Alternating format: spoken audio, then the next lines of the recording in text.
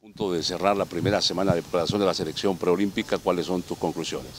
Eh, desde el día martes que empezamos a trabajar, eh, se notó que el grupo estaba muy comprometido, que todos ya estamos conscientes de que tenemos que trabajar al 100% para, para que el día del partido allá en Panamá eh, se demuestre en la cancha de, todo lo que hemos trabajado aquí en, en, los microciclos. Un poco desafortunado ¿no? por el hecho de la cantidad de bajas que se han ido presentando conforme avanza este microciclo.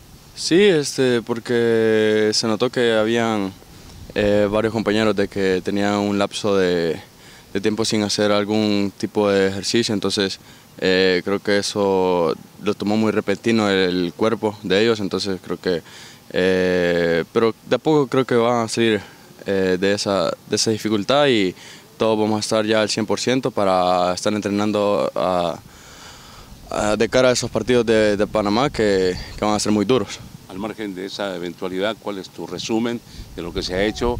¿Por dónde va la idea? Tomando en cuenta que el tiempo, como casi siempre suele suceder con selecciones juveniles, es el peor enemigo. Sí, el profe, profe Memo creo que eh, ahorita nos está conociendo a poco.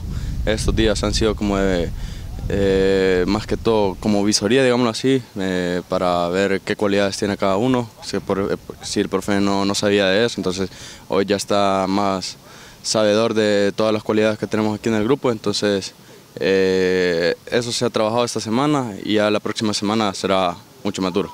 ¿Qué les han dicho con relación a la siguiente semana?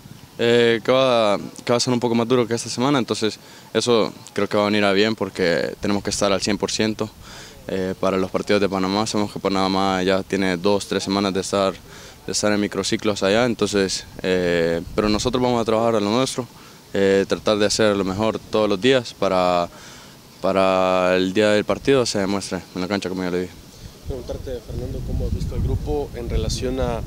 Son muchas bajas, ya lo mencionabas, pero tiene mucho trabajo por hacer, son solamente 3, 4 semanas que tienen para trabajar, entonces ¿se complica el trabajo que está realizando la selección sub-23?